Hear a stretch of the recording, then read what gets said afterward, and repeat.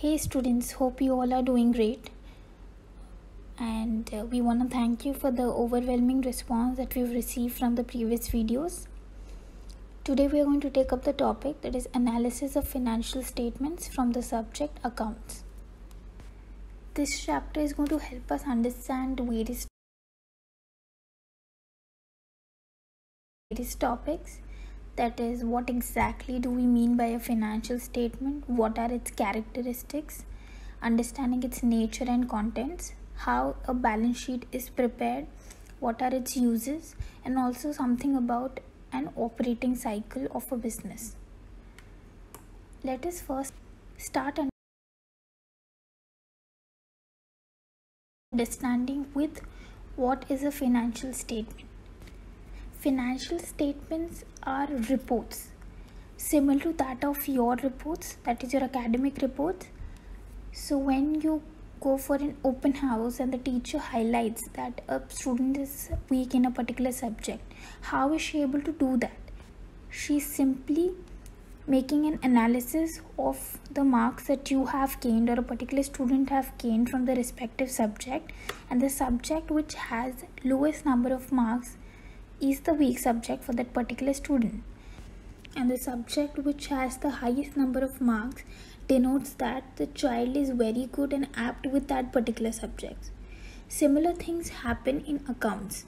So since a company or a firm has different department and it has different type of transactions so in order to understand which kind of a transaction favorable, unfavorable, or in order to understand which department is performing poor or which department is performing better than the previous year, or in order to make comparison between two companies, we need some kind of a report. And that report in technical terms in the accounting system is called as financial statements. So financial statement consists of various documents and going through those documents helps us to understand the performance of the company over a given period of time. These statements are prepared every year depending upon the standards and the various accounting concepts that we have already studied in class 11th now financial statement is a compilation of four major documents when put together are termed to be as financial statement and which further helps us to understand or interpret the financial performance for that particular year or a given period of time. So here there are four documents as we can see. One is the balance sheet, second is profit and loss statement, third is note to accounts and the fourth is cash flow statements. Now what is a balance sheet? Balance sheet is a representation of the assets and liabilities of the company or a firm in a period of one year. It represents the total assets that the company has built up and the total liabilities that the company is entitled to pay over a period of time. Balance sheet uh, can be created in two formats it's vertical format and the horizontal format. Moving here there is profit and loss statement. Profit and loss statement is a representation of the total expenses and incomes of the firm for a year. And while calculating all the expenses and incomes at the end we come to know whether the company has earned profit. That is if the income is over the expenses it's a profit.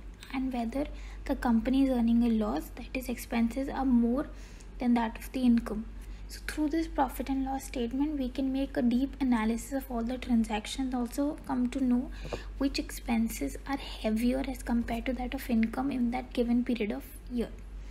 And can later the company can decide to reduce that depending upon their decisions. Next is note to accounts. Note to accounts are a short representation of the various ingredients mentioned in the balance sheet. For example there is one ingredient in the balance sheet that is your capital. Now capital changes every year depending upon the additional capital brought into the business or the amount drawn by the partners or addition or subtraction of the profit and the loss respectively.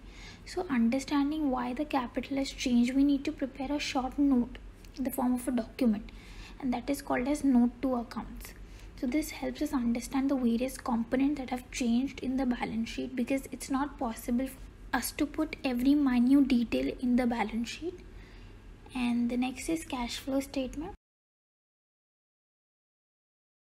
Cash flow statement represents the total cash the company has earned or the total cash the company has paid out in the form of payments in a given period of time understanding the various transactions that are generating cash or the transaction that require the payment of cash in and out the total representation of the movement of cash within or outside the company for that particular year and compilation of all these documents together are called as financial statements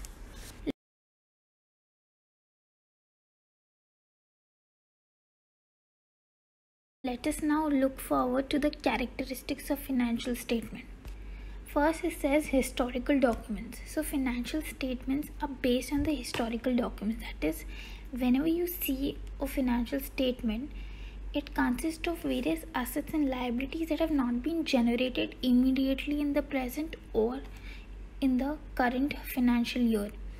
It has been generated somewhere around 5, 6, or say 10 years ago so in that case also the value of the asset or the liability reflected will be the same as that reflected 10 years ago because we consider that unless and until the assets are sold off or the liabilities is written off the value of the asset and liability respectively should be mentioned at their original value. That is the value at the time of purchasing the assets or the value at the of taking up the liability. Next is monetary terms. Whatever it be any kind of transaction. Everything in the financial statement is expressed in the terms money. That is it only represents quantitative values not qualitative values. So here there will be many things that is happening in the company which is unethical or some problems which are happening in the company in, within the management or with the customers.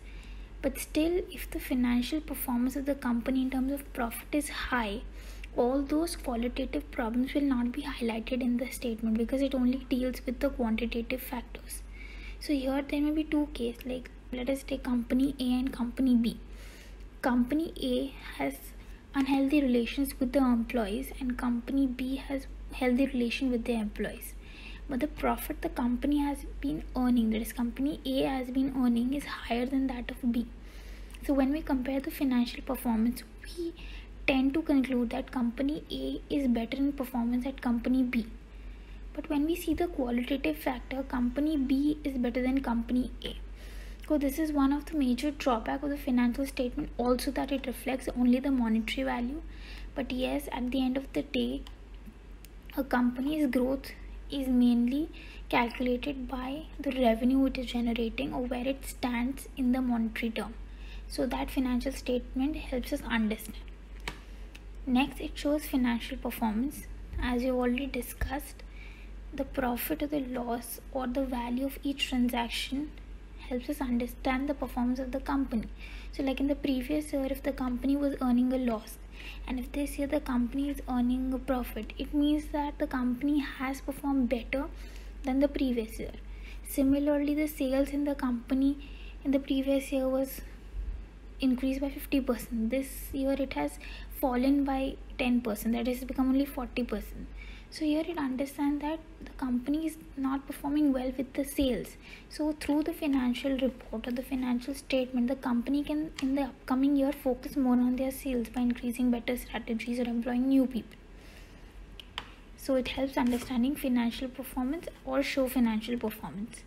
Next is determine financial position.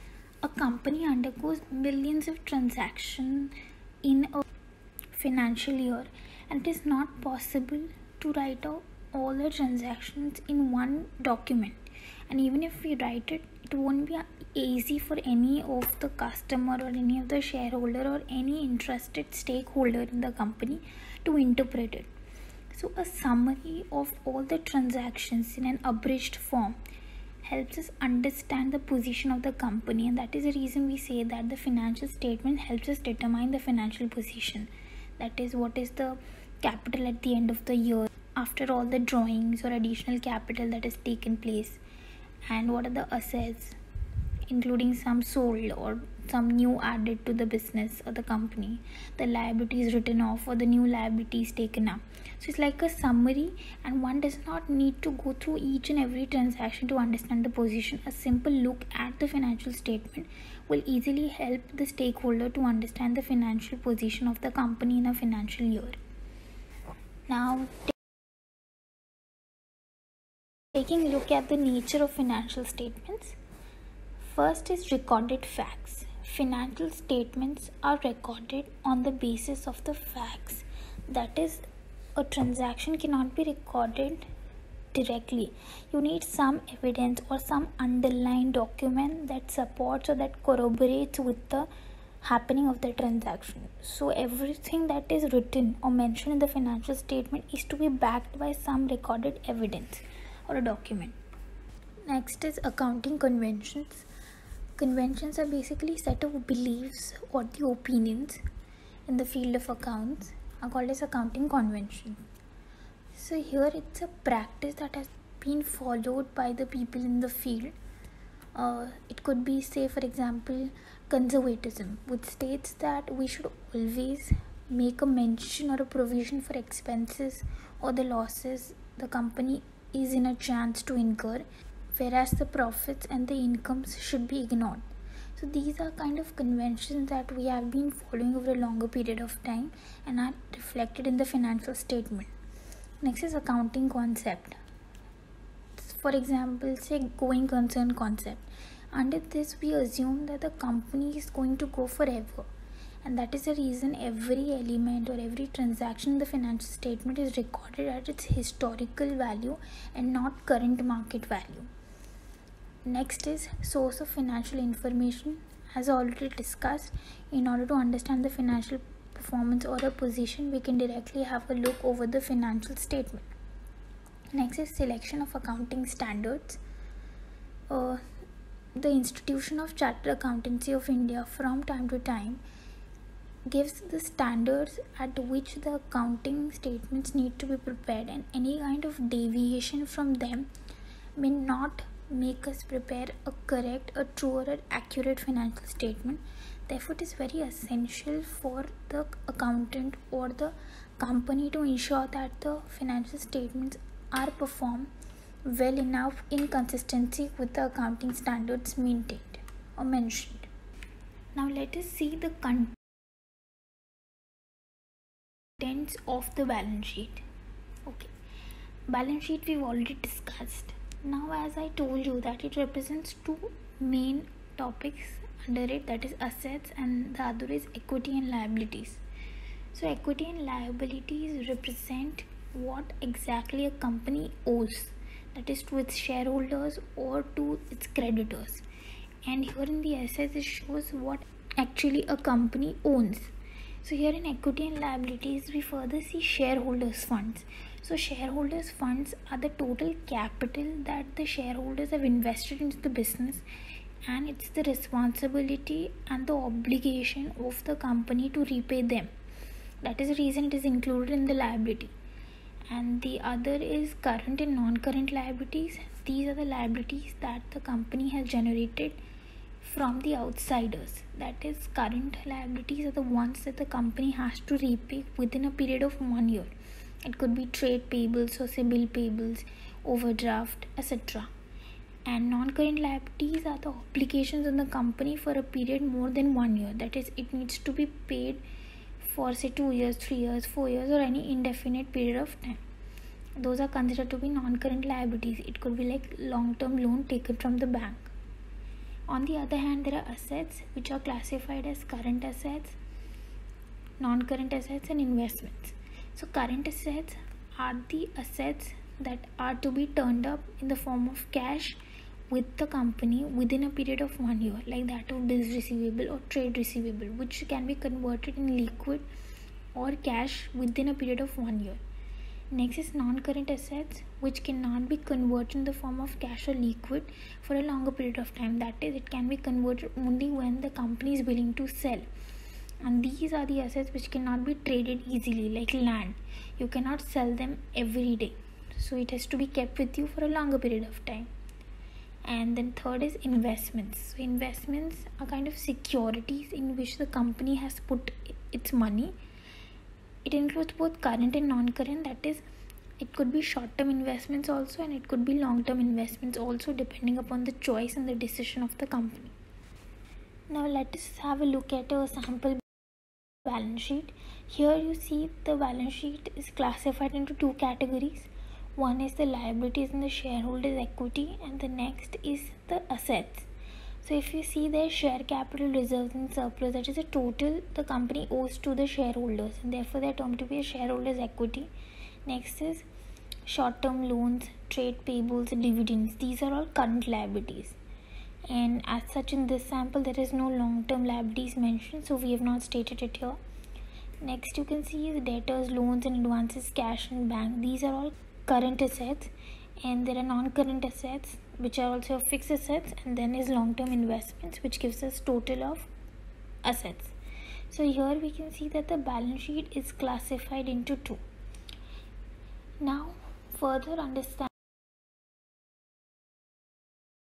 shareholders funds we have classified into three parts. Now a company cannot raise funds to an infinite value there is a limit placed on every company. That is the total amount they can raise in the form of capital in the form from the shareholders in the form of shares and debentures and that is called as authorized capital. And not a single penny can be raised beyond that of authorized capital.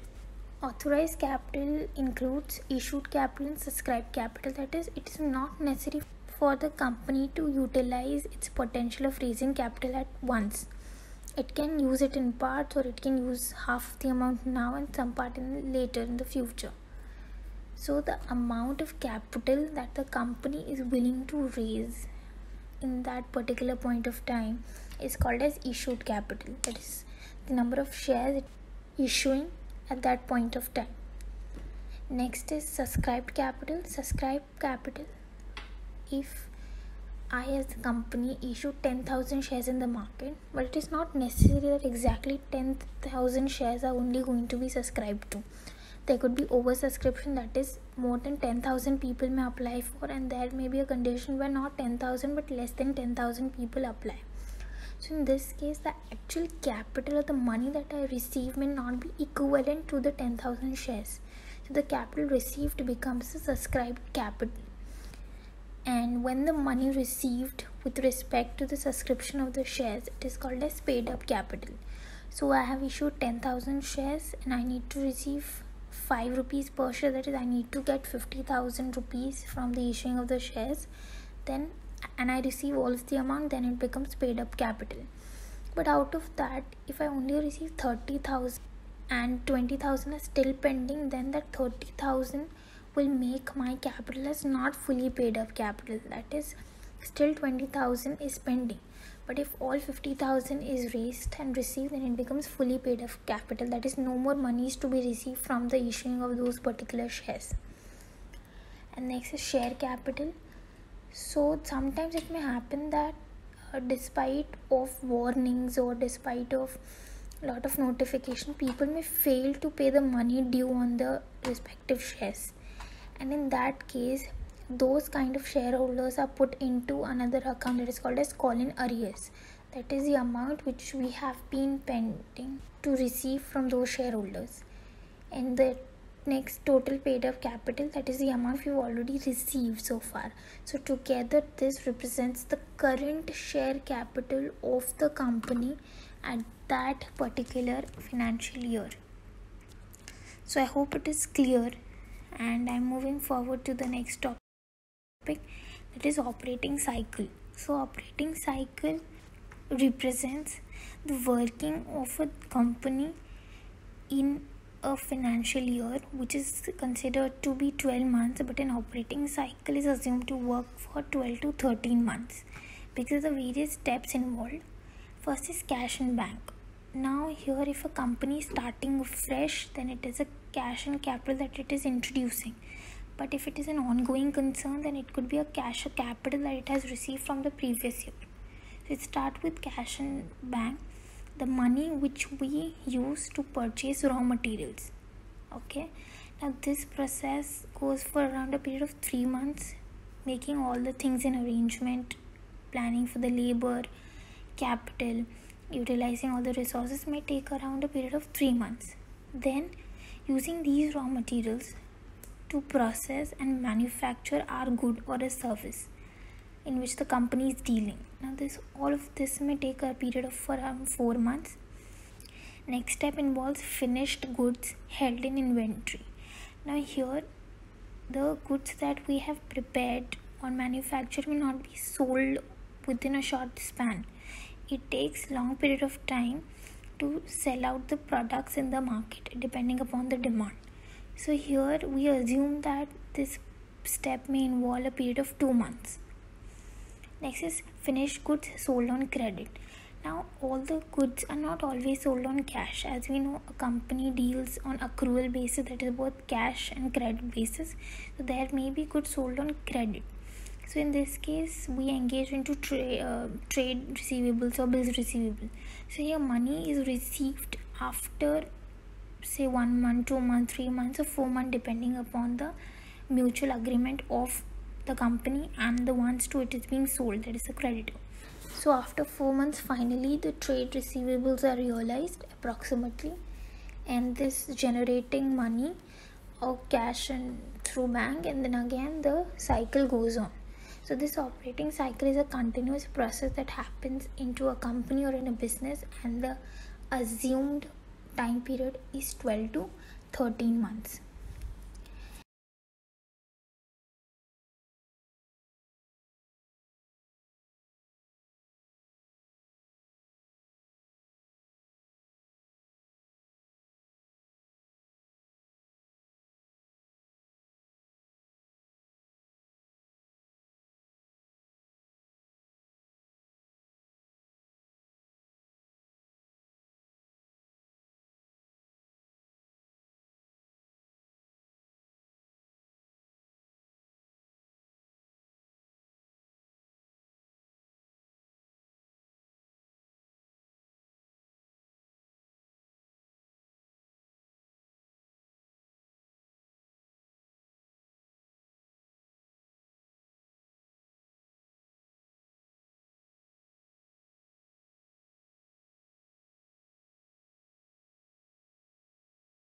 so i hope you enjoyed the video you enjoyed the topics that we covered.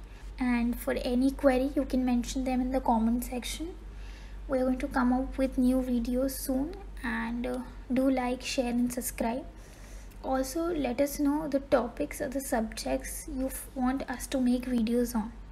And thank you and enjoy